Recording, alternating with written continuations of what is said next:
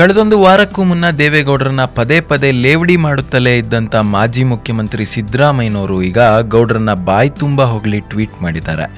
ಇವತ್ತು ತಮ್ಮ ಎಂಬತ್ತಾರನೇ ವರ್ಷದ ಹುಟ್ಟುಹಬ್ಬ ಆಚರಿಸ್ಕೊಳ್ತಿರೋಂಥ ಗೌಡರಿಗೆ ಟ್ವಿಟರ್ ಮೂಲಕ ಶುಭಾಶಯ ಕೋರಿದ್ದಾರೆ ಸಿದ್ದರಾಮಯ್ಯನವರು. ನಾಡಿನ ನೆಲ, ಜಲ, ಭಾಷೆ ಬಗ್ಗೆ ನಿಮಗಿರುವಂಥ ಬದ್ಧತೆ ನಮ್ಮೆಲ್ಲರಿಗೂ ಸ್ಫೂರ್ತಿದಾಯಕ ಅಂತ ದೇವೇಗೌಡರನ್ನ ಹಾಡಿ ಹೊಗಳಿದ್ದಾರೆ. ಜೆ ಡಿ ಎಸ್ ರಾಷ್ಟ್ರೀಯ ಅಧ್ಯಕ್ಷರಾದ ಎಚ್ ಡಿ ದೇವೇಗೌಡರಿಗೆ ಹುಟ್ಟುಹಬ್ಬದ ಹಾರ್ದಿಕ ಶುಭಾಶಯಗಳು. ವಿರೋಧ ಪಕ್ಷದ ನಾಯಕರಾಗಿ, ಮುಖ್ಯಮಂತ್ರಿಯಾಗಿ ಪ್ರಧಾನಮಂತ್ರಿಯಾಗಿ ಸೇವೆ ಸಲ್ಲಿಸಿರೋ ಕೀರ್ತಿ ನಿಮ್ಮದು.